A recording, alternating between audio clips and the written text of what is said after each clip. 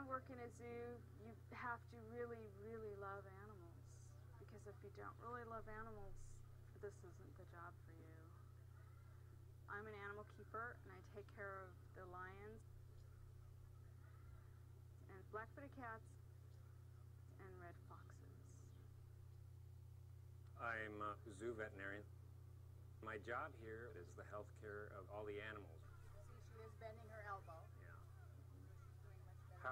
She been walking? It's a pretty challenging job. You have to figure out what's going on, uh, and you have to treat it. You know, you just can't say, well, I'm tired, I'm going to quit. You have a problem, you sit there and you solve it until it's solved. I get a tremendous reward of knowing that I help the animals get better.